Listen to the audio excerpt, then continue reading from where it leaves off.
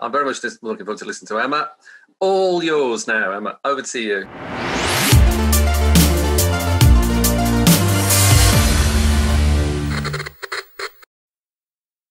The topic is why is it so easy to hack humans? And you may think, well, you're an insurance broker, or if you don't know, I'm a commercial insurance broker. What's that got to do with insurance? And with insurance, we always look at, at risk and providing solutions to, to mitigate and solutions so that there's cover there if things do go wrong. With COVID, there's been a big backlash with clients saying, well, you never even discussed pandemic insurance with me. Why not? Fortunately, the British Insurance Brokers Association has concluded that brokers aren't negligent in not discussing pandemic insurance. It was totally unprecedented, and that there wasn't the insurance providers out there to be providing pandemic cover for SMEs. However, cyber is very much an area that I'm sure James will agree that us as brokers, we need to understand cyber risks and we need to be able to provide our clients with information about risk so that they can evaluate then whether they want to insure against it. You've obviously got your legally required insurances, your employer's liability, and your motor insurance that you need. But any other insurance, it's a case of balancing out well, what are the premiums and what's the risk, and, and do I actually need it? So I've done a lot of work on cyber insurance, and it's frustrating. The take up is really, really low. Initially, it was always referred to as cyber liability, and the misconception that the risk is if we transmit a virus out to someone else. But it's not really about cyber liability. Cyber insurance is more about first party cover. It's about what you do if you put your computer on and it says malware attack or ransom demand, pay this Bitcoinage, or else we've encrypted your data, we've encrypted your backups, and potentially with GDPR, they could breach it out there. They could get you in all sorts of trouble in terms of being able to function your business and GDPR breaches. So, what we want to do is really understand those risks. And the first point of, of sort of looking at risk is with cyber, people say, I outsource my IT. The company that I outsource to assure me they've got firewalls, they've got every bit of protection you can have we don't have a risk, we don't have to worry about that. However, over 90% of cyber attacks are as a result of human error. And the cyber policies provide cover for these first party losses, cover for companies to investigate what on earth's happened, get their data reinstated, and reduce the impact on their business, and reputationally deal with any issues so that their customers and their suppliers want to carry on trading with them going forward. So, why is it so easy to hack humans? And the very fact is because we are human and we're impulsive. We know the logic of certain things, but our actions don't necessarily dictate that uh, as to what path and route we take. And a really good example of this is, is Bobby, who you've seen. Now, the first puppy we were supposed to get, um, we were let down by a breeder um, they told us when the puppy was born. We've got everything planned. We didn't pay a deposit, but she decided to keep the puppy. This was at a time when Steve's mom had passed. Our family were all really excited. And then all of a sudden, we're not getting this puppy that we knew when it was born. We were celebrating everything. So we went on the internet to find a replacement puppy. And I spoke to this lady. Well, there's a few other stories, but we've not got all day. I spoke to a lady and she sounded lovely. The dog was advertised in Walsall and she was actually in Wetherby, but her sister lived in Walsall. so that's why she sort of put it on the, the local ads there as well. She explained that she'd bought this dog for two and a half thousand pounds, kennel club registered, it's puppy, slinky, um, but she just couldn't cope, and it wasn't fair on him to keep this puppy because he needed the love and attention. She'd got extra hours at work. She was only asking two thousand pounds for him. Sorry, just bear with me. Bobby may not like me speaking about another dog. Um, yeah. And and basically, she had me hook, line, and sinker. I was on the phone to her. I was explaining um, how much we were looking forward to getting a dog. She then recounted a story of a friend of hers that sold a dog and didn't want to sell it to just anyone. Was very selective. Sold it to someone for less because they promised a good home, and then it appeared on a website to be sold sold on. And so she really did have me hook, line, and sinker. And so she said, Well, yeah, if you can put a deposit to secure, and then you can arrange to come and pick him up, which we agreed. He's out. Um, and it it was in Wetherby. So I was like, oh, this is this is a three hour journey. So the deposit part was kind of like, well, whatever. Um, but the journey of three hours really sort of sort of made me think I've got to make sure this is absolutely right. So I sent her a form that I got off a puppy website to verify various details, and she gave me some information about, and it slipped out as not Kennel Club registered parents of Kennel Club, not the puppy. A few more things transpired, and she wanted to arrange to meet at a service station because her mom had got fibrosis, and with COVID, it was all very concerning. Don't go to a house, meet at a service station where there'll be CCTV, so it's all fine. So we agreed that, and I was like, well, okay, this is who I am. Sort of, uh, well, I'll be driving this car, uh, and this is who we are. Can you confirm your vehicle reg number? And she provided the bank details straight away. They came over and just confirmed the, the address the bank account's registered to. So she, she, she, and this is I was talking on the phone as well as WhatsApp, uh, WhatsApp message, and um, she confirmed the half of a reg number. And I was like, okay, can you can you just confirm the whole of the reg number? I don't know it. Okay, um, to just take a photo of your car when you get to it and, and send me that? Took a photo, and it came through with half the reg number on the photo. And I was just like, oh, I said, what? Okay. I said, oh, photo doesn't seem to have come through correctly, half the reg number. So I said, if you if you send me a utility bill, you know, just I just want to verify your address before we do the bank transfer. Um, and then I got a message saying I don't want to sell Slinky to you anymore.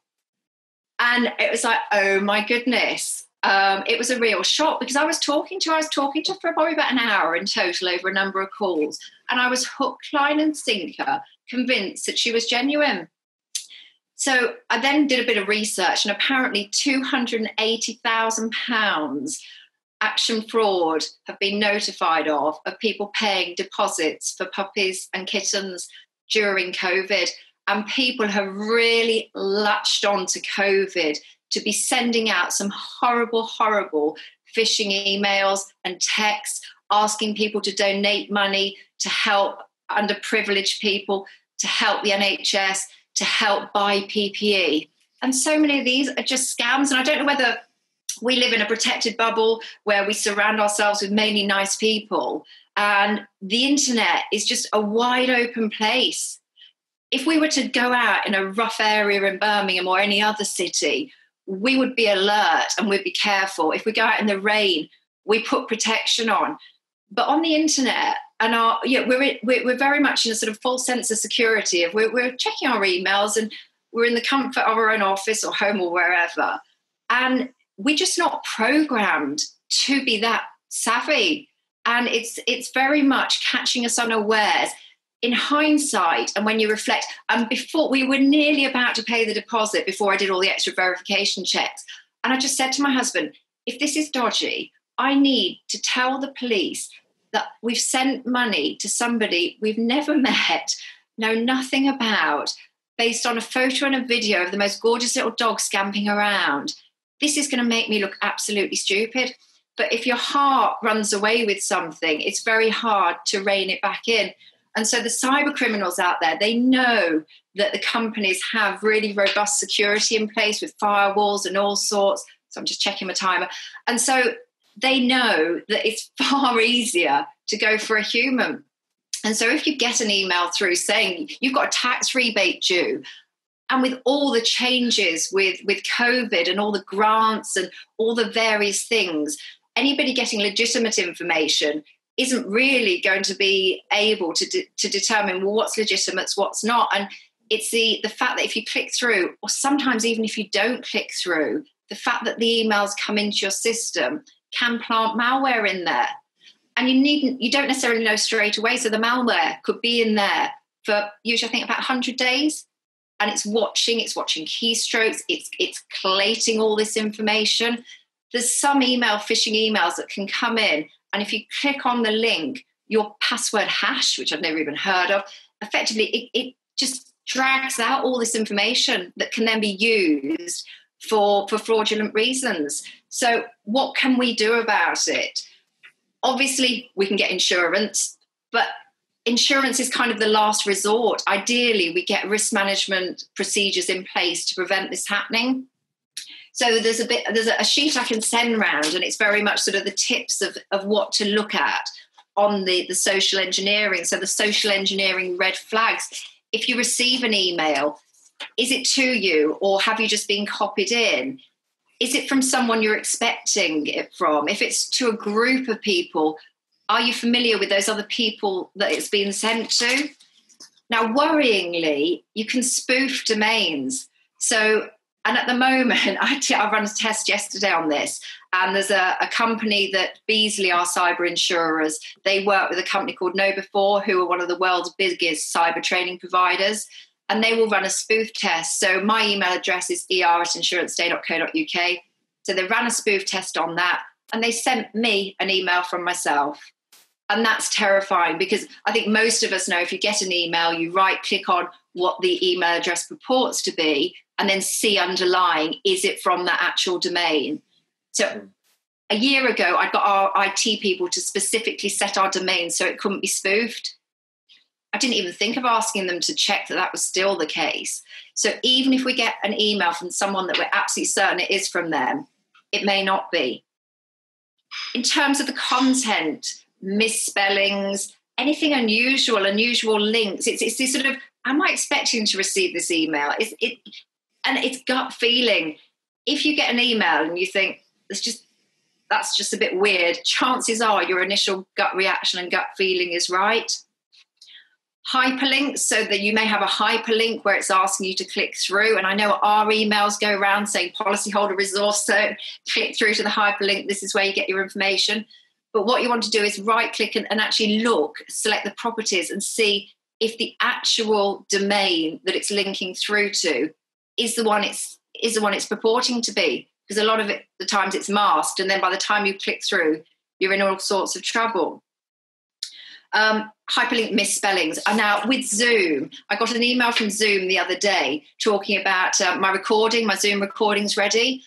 Well, there had been a meeting that I had recorded and and so it, it just didn't strike me as being odd. And then I thought, hold on, that doesn't fit in time wise.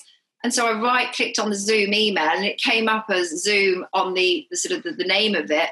The underlying it got Zoom in there, but with a whole load of other rubbish. So that was a virus and would have been an issue.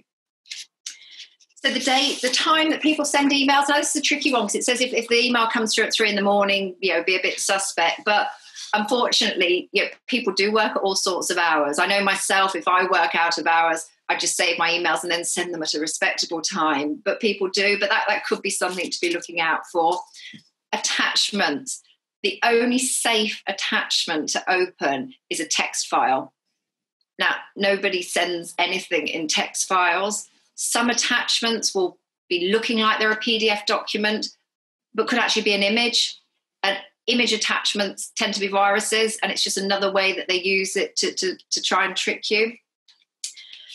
So, the content, we don't usually get emails that we need to act on immediately, immediately straight away. I get a lot of emails saying you're, um, you've, you've got emails in your spam that you need to check. Your email account is full. Unless you go in and, and do some housekeeping on it, your email will be deleted. And in the office, I get a lot of the team emailing and say, "Is this legitimate? Is this legitimate?"